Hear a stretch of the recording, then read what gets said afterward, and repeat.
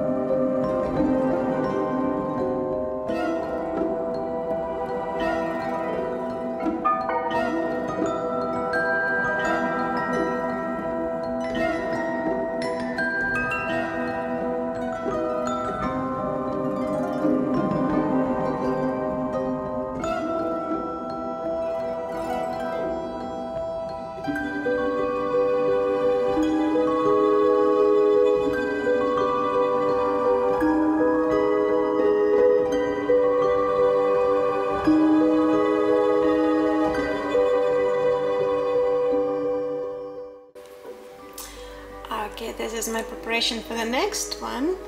Uh, this is going to be a set of decorations. Uh, as you may see, this is Play-Doh. And I just squeeze little pieces of Play-Doh uh, with a penny. Rather easy, just take a little piece of Play-Doh, squeeze it with a penny, and then you have this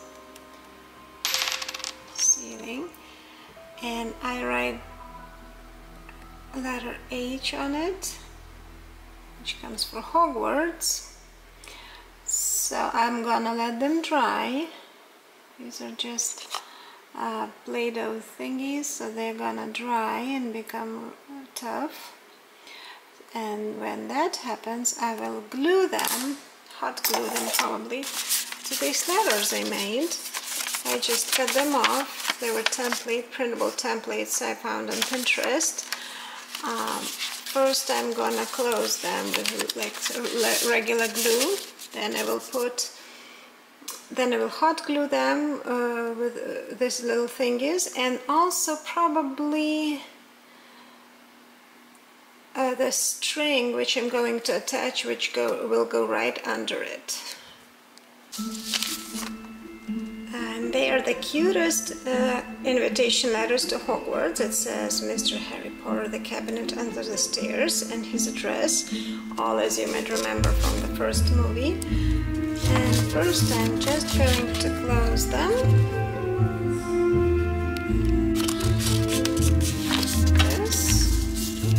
And I'll later, and I'll uh, wait for the seals to dry off and then I'll finish them. Next thing for food I'm making um, sorting heads uh, which is rather easy. I just bought um, a croissant dinner rolls. Uh, actually the more convenient thing for me is just to buy um, puff pastry uh, puff dough which is not uh, cut in pre-cut in dinner rolls but I couldn't find that in my local stores so I, I bought um, pre-cut dinner rolls, uh, croissant rolls, and uh, I kind of rolled them up. I cut them in half and made smaller ones, but you can make bigger ones as you want. And then I covered them in beaten egg and now I will put some sugar on top of each of them sprinkle just a little bit I use brown sugar it's light brown sugar. Uh, it's better for my tasting but any sugar would go obviously. And then after that I'll sprinkle them with cinnamon and that'll make a really nice um, taste. And I'll bake them uh, like like a reg like, like regular cookies about 350 degrees for Fahrenheit for I don't know how many minutes. I will just watch them and as long as they're brown light brown I will take them off not to burn them. There I think they look nice. They're like little head and they're really yummy. I think that's a success. And then I made this banner which is really was really easy to make I found uh, free printables uh, on Pinterest and I just hang it around the house and I think it's it looks very Harry Pottery. Oops, I really like it. And the next step is a little bit of cheating. Uh, we bought a cake from Costco and we decorated it using the, the pink cream I made from whipped cream and um, mascarpone cheese and we just used this little uh, sparkle gel to say happy birthday Maya. So the cake now looks very Harry Pottery Hi. and looks like she's happy. Yes and of course Pinterest and Google for our help. I think it's cute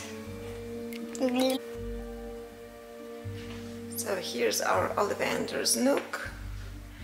Um, I used just a cape and uh, witch's head for decoration and I printed some wrappers for the books which I think look rather cute and some real books. And these are the ones all prepared. We have Ollivander's logo we the one chooses the wizard post poster and some more Harry Potter books. So here's how it looks. And the chimney. I think the fireplace look looks fabulous with all these letters exception letters from Hogwarts. I think it's cute hope the kids gonna like it And the next peanut butter miniature cups from sticks. I think they're adorable combined with uh, pretzel sticks. I really like them and they're very wizardy. And this is our balloon arch. Comes for the colors of all the houses. And these ties we made from felt we didn't have here. any brown, so we used yellow. Yes, we used yellow instead of brown. I think it's cute. okay, getting creative with water station. okay, that's the entrance. Room parking here. And our nine and three quarters platform. And the kids are gonna run inside I think it's gonna be so much fun.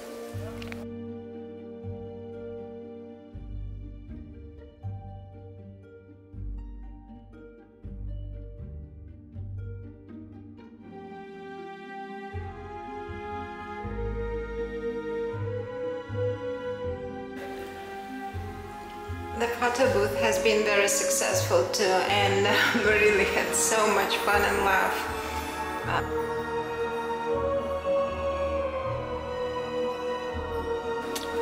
Also, I use these tickets. I cut them out from a thicker paper and every child got a ticket for Hogwarts Express uh, when they uh, run through the um, platform.